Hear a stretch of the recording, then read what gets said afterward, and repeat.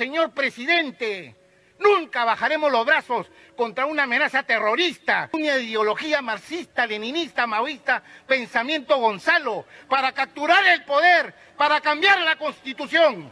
Hola, ¿qué tal amigos? Sean bienvenidos a Perú Todo Noticias. El presidente Pedro Castillo casi se queda en shock con el demoledor mensaje que le lanzó este general de la Policía Nacional. Y es que le dijo en su cara que las Fuerzas Armadas y que la policía no van a permitir su asamblea constituyente y que Sendero jamás regresaría. Vamos a escuchar sus declaraciones. Señor Pedro Castillo Terrones, presidente de la República del Perú.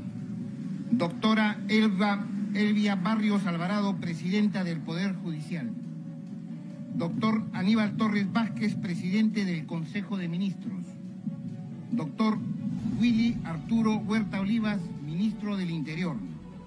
Señor General de Policía, Raúl Enrique Alfaro Alvarado, comandante general de la Policía Nacional del Perú. Señor General Policía Nacional Abel Gamarra Malpartida, viceministro de Orden Interno del Ministerio del Interior. Señor Teniente General Vicente Álvarez Moreno, jefe de Estado Mayor General de la Policía Nacional del Perú. Señor Teniente General Segundo Leoncio Mejía Montenegro, Inspector General de la Policía Nacional del Perú. Señores Tenientes Generales, exdirectores y comandantes generales de la Policía Nacional del Perú. Señores oficiales generales de la Policía Nacional del Perú, señores funcionarios del Ministerio del Interior, señores integrantes del Grupo Especial de Inteligencia, GEIN, de la Dirección contra el Terrorismo de la Policía Nacional del Perú, señores oficiales superiores, oficiales subalternos, damas y caballeros cadetes, suboficiales de armas y de servicios, jóvenes alumnos y personal civil de la Policía Nacional del Perú, señores periodistas de los distintos medios de comunicación, distinguida concurrencia, señoras y señores. ¡Vamos! ¡Agrupamiento! ¡Descanso! La Constitución Política del Perú madre de todas las leyes, y un puñado de leyes dadas en distintos gobiernos establecen, prescriben y obligan a los peruanos, a los 32 millones de peruanos, a través de sus instituciones tutelares, rindan un sentido justo y gran homenaje a los héroes y defensores de la democracia, para lo cual ha instituido fechas significativas en, los logros contra el terrorismo, como lo es el 12 de septiembre, día de la gran gesta heroica, de la hazaña, de la proeza, de la gloria de los miles y millones de peruanos, personificada por 82 valientes varones y mujeres, sobre los cuales los peruanos tenemos una deuda impagable. Conforme lo ha prescrito la norma leída hace unos instantes, dieron inicio a la pacificación nacional, capturando al más grande genocida, al más grande asesino, al hombre insano que tuvo como ideología el marxismo, leninismo, maoísmo, pensamiento Gonzalo, y asesinó a más de 70 mil personas, 36 mil millones de dólares en pérdidas, 600 mil peruanos tuvieron que huir de la selva y de la sierra para poder liberarse de la amenaza terrorista de muerte.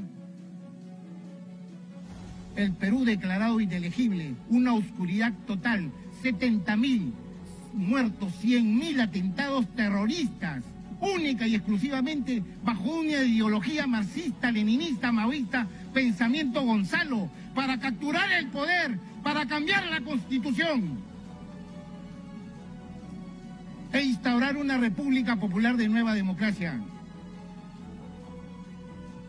Le pedía al, al, Dios de nuestros cielos una gran inspiración para que vuelva la paz a nuestros corazones, a nuestras almas, lo que nos merecemos los peruanos, libre de cualquier atisbo del terrorismo.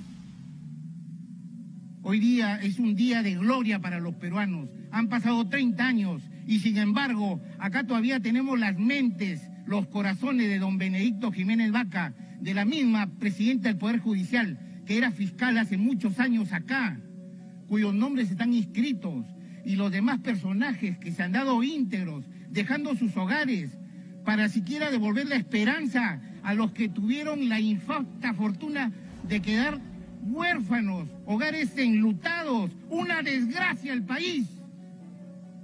Es por eso que nosotros los peruanos, y más aún los que tenemos la responsabilidad constitucional de ser policías, mayor razón de los que estamos en la dirección contra el terrorismo, para nunca bajar los brazos, señor presidente. Nunca bajaremos los brazos contra una amenaza terrorista. Y en esa sintonía debemos estar todos. Por eso es este homenaje. Ayer mismo saludamos la paz con un eslogan que decía, por una cultura de paz para un Perú sin violencia, en la que participaron 15 colegios en la Huamanga querida, en el Ayacucho, donde se dio inicio lamentable a lo que muchos llaman la lucha armada o revolución o guerra popular. Esto es terrorismo. Así lo dice la Constitución y así lo dicen las leyes. Así se imparte justicia en el Poder Judicial, así se acusa en el Ministerio Público y así se investiga en la Policía Nacional del Perú. ¿Qué mejor homenaje para los hombres y mujeres del GEIN que decirles que no vamos a desmayar en ningún momento y vamos a seguir el legado? Un abrazo hasta el cielo para Gitano, un abrazo hasta el cielo para Don Tumba Ortega. No han muerto. Un abrazo hasta el cielo a los 70 mil peruanos que han perdido las vidas a sus familiares, decirles que su muerte no fue en vano, que tienen un significado para la democracia, para la libertad, para el orden al cual nos debemos como peruanos. Tenemos una gran obligación constitucional de seguir luchando contra el terrorismo y nunca vamos a, desfallecer. Muchas gracias, maestro Benedicto. Muchísimas gracias. Don Marco Villachiro, Morán, Fernández, Gil, entre otros. Muchas gracias a esas mujeres valientes, a Rubí, a Gaviota, a Lita. Es un lujo y un honor todavía tenerlas por las paredes de esta Policía Nacional, la Policía Nacional de todos los peruanos, y que ayer con el ministro del Interior, siguiendo sus lineamientos, y del comandante general, hemos tenido un evento grandísimo, un evento donde verdaderamente se ha respirado paz bajo un cielo azul y blanco que nos regalaba Huamanga. Para finalizar, por favor, síganme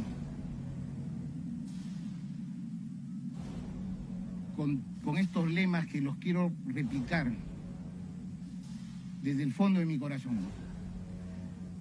Terrorismo nunca más.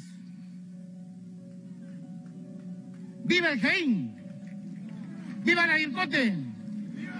¡Viva la Policía Nacional del Perú! ¡Viva el Perú!